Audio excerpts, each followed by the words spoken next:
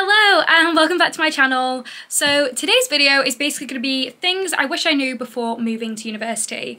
So I have just finished my undergrad degree at Lancaster University and I just kind of want to share my top tips for you guys on YouTube because moving to university is a really really scary thing. Before I moved to university I watched so many videos from people so I kind of want to share you know the wisdom I've learned over the past three years. One of my top tips for university is when you are buying cutlery, make sure you get unique ones with like colourful handles or that are like a different colour than the average silver metal, you know, the average fork and knife.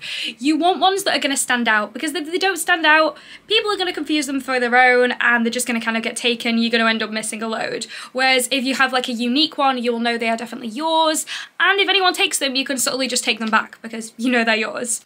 Um, I was really lucky that I thought about this ahead of time because I'd seen videos like this and I bought like black ones, which were kind of like they had like a little bit of rainbow in them and no one else had them, which was really, really useful. So when I, you know, was washing them and stuff, I always knew which one was mine and they always stood out and it also kind of made it kind of fun. I liked having something different, um, even though it's a little bit sad. Another thing is to go to all of the Freshers Fairs events that there are. Go to all of those Freshers events. A lot of the Freshers Fairs, you will get free things, which is always good. I love a free pen or like a free stress ball or something like that. So make sure you go to them. You will also get the opportunity to speak to many like societies. So you may be interested in a particular sport or a particular like thing. A lot of universities have all sorts of societies, whether it be a Quidditch society, Harry Potter society, just in general, Doctor Who. Some universities have a Taylor Swift society, and I am so jealous because we didn't have that in Lancaster.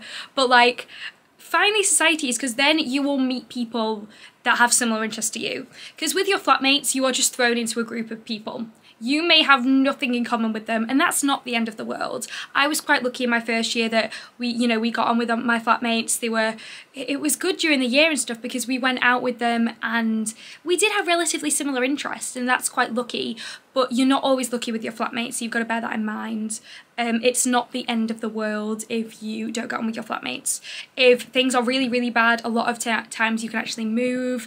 But at the end of the day, they are just random strangers thrown together so you're not always going to gel completely. The other thing with societies is just go to them. Like just go to the events. A lot of them offer a free first event or a reduced price first event like a taster session. Just go for it. Even if you go alone, like sometimes your flatmates might not want to go to these things. Just turn up alone. Um, during my um, first year I went to Art Society a couple weeks alone and then my friends came with me but you get to meet new people there and stuff and a lot of people will be in the same boat where they want to join these societies but they are too scared to go alone.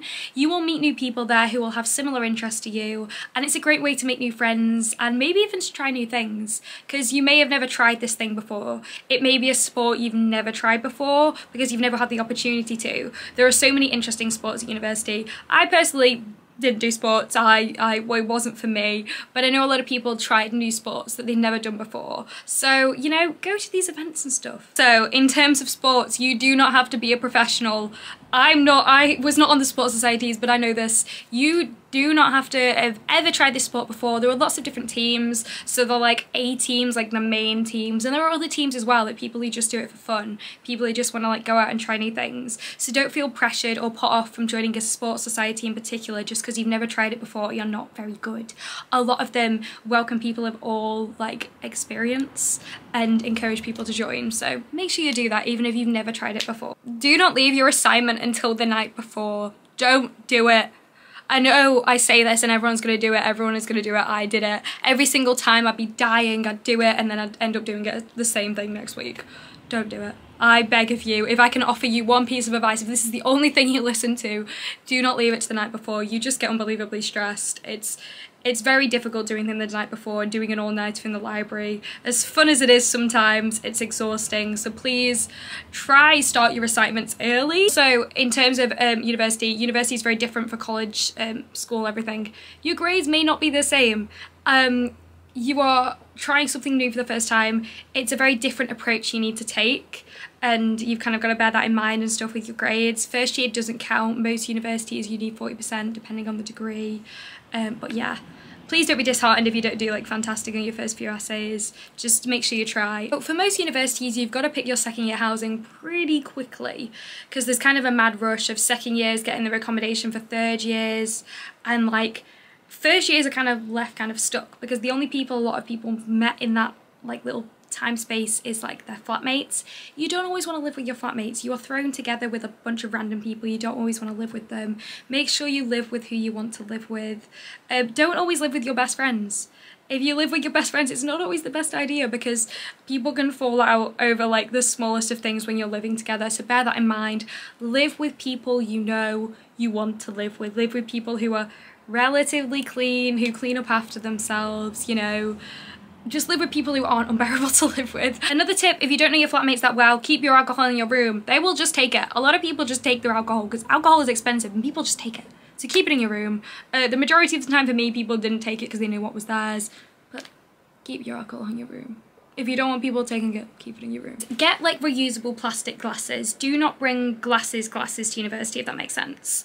Because if you bring glasses, they will get broken. I brought like, um, I don't know how to you know what I mean, like a glass to drink out of, and a lot of them got smashed.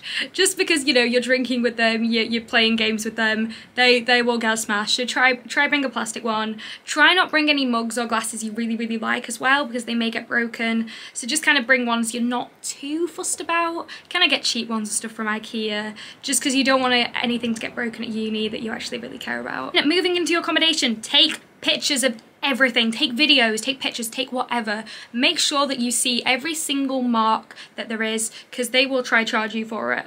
Um, it's really, really important to do that because there are marks when you move into university. So just make sure you do that and then you've got the evidence. Fill out the inventory with them as well um, and make sure you just note down anything that there is.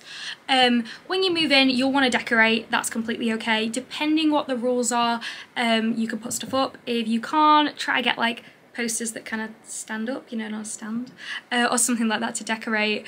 If you can, get white tack. White tack is the best one for decorating because it doesn't take the, um, it doesn't leave a mark or a stain or anything. And also get command hooks. I loved having fairy lights, they were really fun. If you have LED strip lights, they will strip the paint off. Just a warning, they will strip the paint off. It's not of if they strip it, they will. Um, so make sure you're aware of that. Don't put it anywhere where there's paint. If you can put them somewhere where there's not paint.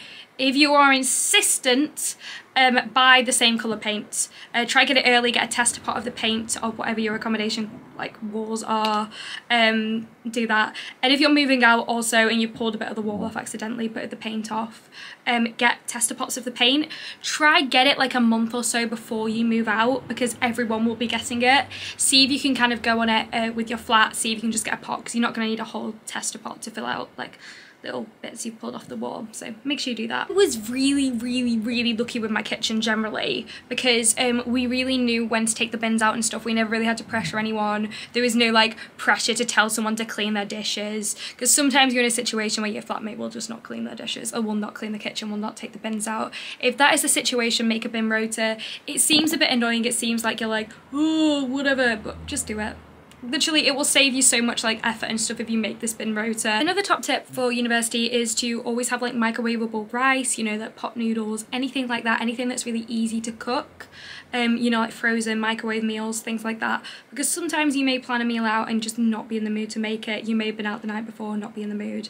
Always have like a backup option because then, you know, you can get some food. If your flats like aren't really like talking a lot and like the thing, basically what um, one of my flatmates upstairs did was bake and then be like, hey, you know, do you want to try my things? And that's a great way to get a conversation started. Try do like games nights, um, bring up board games if you can. They take up a little bit of space, but they're always really fun. Get card games. One of the most important tips that I'm going to give you basically is to know your limits um, with basically everything.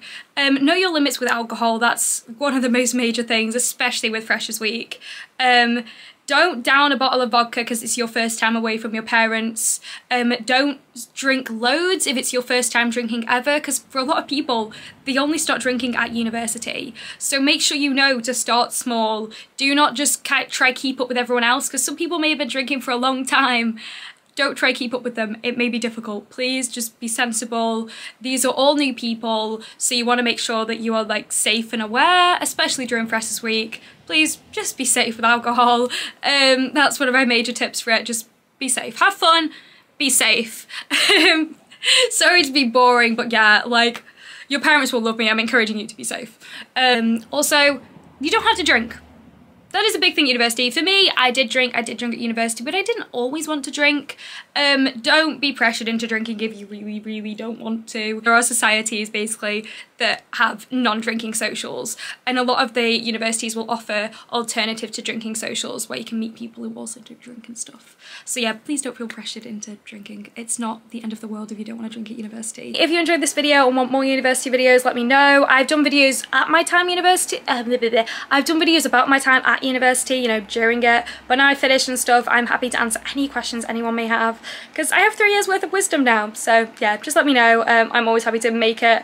I specifically know about Lancaster because obviously that's where I went, but if you want more general university advice, I can offer that too.